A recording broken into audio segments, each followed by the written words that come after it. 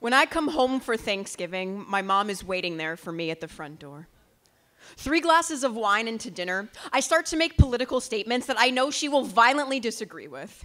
Both because I think it's kind of funny to watch her throw handfuls of animal crackers against the wall in anger, but also because I believe them.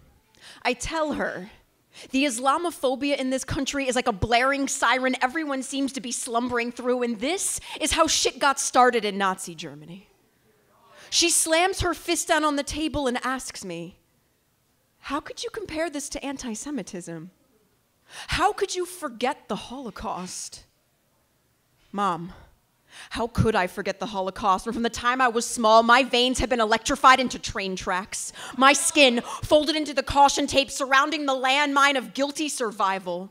Memory is a bear trap, pausing you in midair above a sidewalk that has never stopped moving. Like all things in nature, history is a spiral, a tornado frozen and siphoned into hourglass.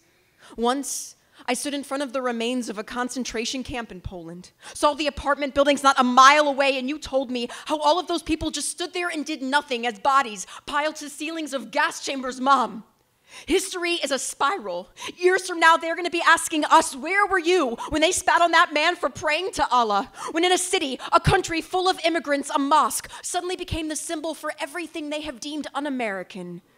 Did you stare like a subway zombie when the teenage boys ripped off her burqa and called her towelhead? Did you scrape the dictionary from your tongue when they called her a terrorist? Because our own words have become suicide bombs when we are able to drop them so mindlessly. I am my mother's daughter.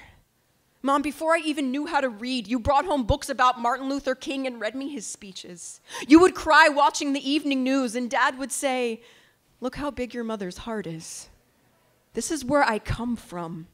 When I come home, either as a jet lagged American drunk on the luxury of leaving things behind, or a girl walking up the driveway of my mother's house on Thanksgiving, I know I'm an ambassador to those waiting on the other side of the door for me, whether we like it or not. And the cards I hold here Jew, woman, lesbian, American crumble under the weight of these simple truths. History is a spiral. I am made of helixes. I am made of spirals. I am wind, plugged into a hurricane that hasn't arrived just yet but smells so familiar, Mom. You taught me to be a prism reflecting other people's heartache. So, what exactly did you expect me to become? You can't stitch values into me and then complain about how the pattern turned out.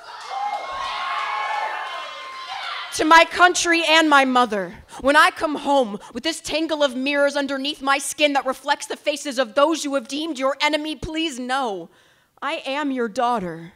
I am all America. I am everything that you have made me to be.